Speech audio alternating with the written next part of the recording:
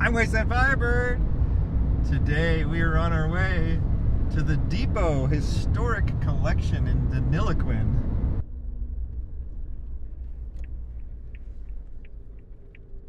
Journey through time. Jimmy! Sorry, I'm, I'm too lazy to adjust the microphone, so I'm just gonna give you like a about a 30% Jimny. Jimny!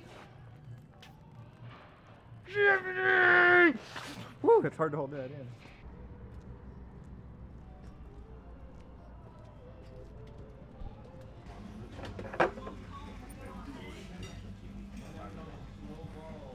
Australians, you need to put more salt on things. Some of these NSUs were made in Australia. Berkeley.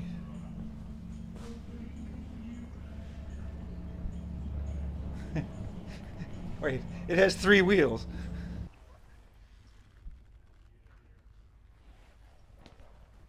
Fifty-seven Chevy DeLorean. It's an Irish car. For all you young people out there, the DeLorean is an actual vehicle. It is not a time traveling machine that was invented for the movie Back to the Future.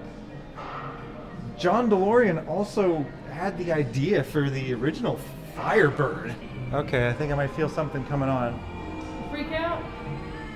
There never was, and there never will be, another century like the 20th. Progress has slowed down.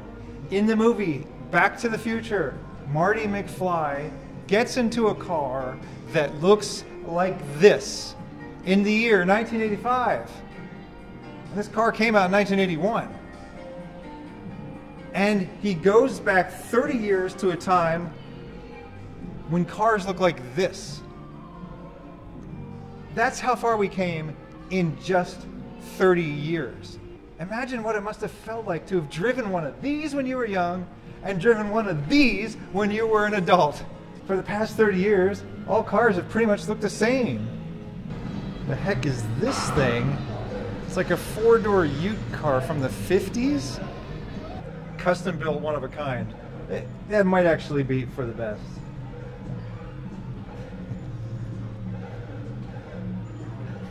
Now this, the world needs more of this.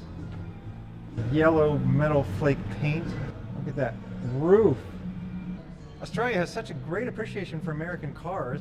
Americans don't even know that Australian cars exist, which is why Australia really appreciates being seen by an American for once. This looks like the car that James Dean died in.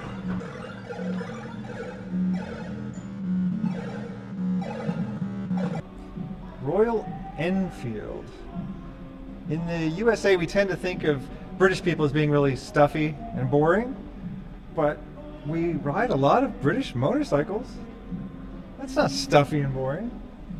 Armstrong Siddeley Typhoon, United Kingdom. Never seen anything like this movie car from The Delinquents. Might have to check that one out. Friend of the channel, Bruce, is really into buses. So here you go, Bruce. Here's a bus. I drove buses for years school buses, transit buses, and it was the most fun job I've ever had. You were supposed to be behind schedule. If you were ahead of schedule, you got in trouble. And so you just cruise down the road. You get stuck in traffic, no big deal, you're getting paid. I might have to get one of these someday. We took one of these to Wasteland Weekend and it was just so nice. The Leyland P76. Oh, the trunk's open. You know what that means. It means they got a 44 gallon drum in the back. Prepare to roll your eyes. I'm rolling them as hard as I can. Oh, and a bus in original condition.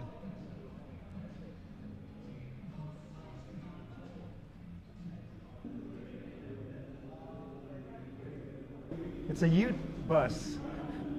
We got very few of these in the US because the, there was a tax difference for the Utes versus the bus. It's pretty much the same vehicle, but this was like a work truck, and so they put tariffs on that. It didn't make any sense.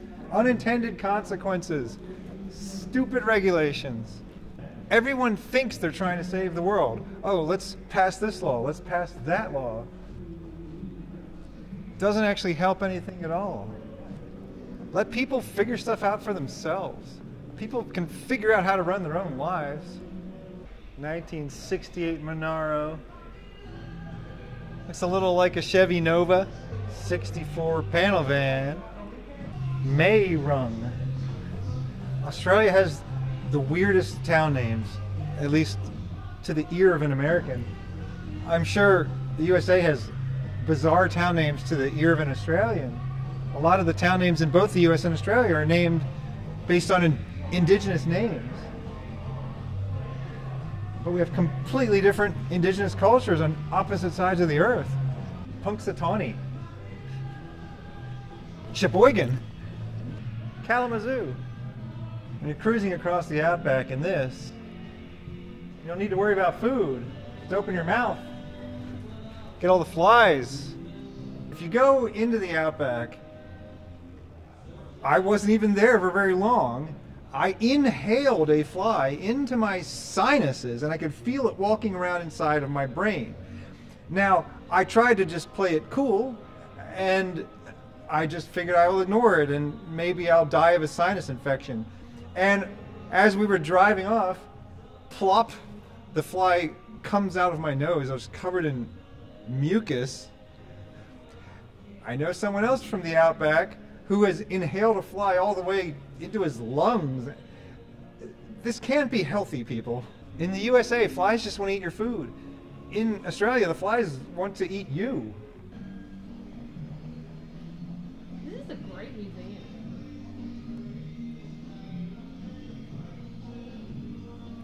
Whoa, look at this beauty. Old petrol truck. Golden Fleece. There are a lot of oil companies Australia has that the US did not have. Look at that cab. I mean, trucks today are luxurious RVs. This is no better than your average farmer's ute. He had to drive across the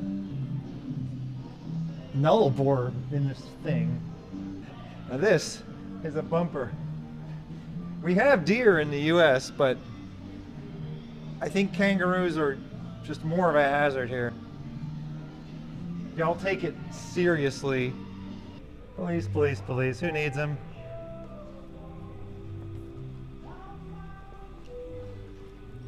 One of our channel sponsors shared a video of one time in history when police were actually useful. 1987, they helped transport a liver through London in a police car at top speed. In spite of blue flashing lights and wailing sirens, some motorists still seem unaware of the urgency of the situation. This time, a clear path through the traffic could be the difference between life and death. That's an exciting video. People like to think that Wasteland Firebird is on drugs. No, he's just high on life. He has been drug tested for what? Cannabis, cocaine, and Meth. Meth. Meth! Meth. Mm. they tested me for meth. It's a Monaro and a Torana Vauxhall Ute with charcoal power. A charcoal gas producer like those used during the Great Depression. Two bags of charcoal would get you 200 miles. It actually is charcoal powered.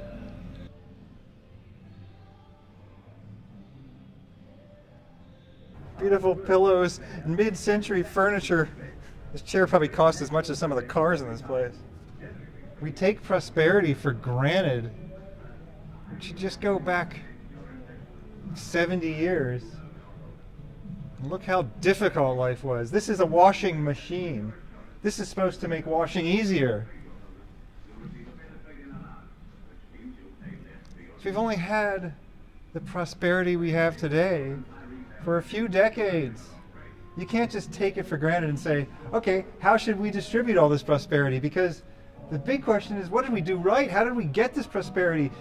Now is the exception in human history. We spent 100,000 years starving. We spent another 100 years living like this, which was like okay, but I mean, the cell phones and vaccines and surgery and anesthesia and satellites, this is all brand new in human history. And we need to first make sure that we understand what is it that made all of this possible?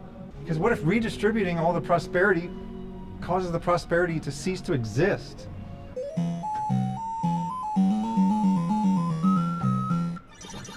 Off to Denny Eatmuster. The Jaguar over there. This has been the Deniliquin Depot Historic Vehicle Collection. I'm Wasteland Firebird. Thank you for inviting me into your home or onto your portable device. Have a good night. Thanks to Mad Skelli for the camera work.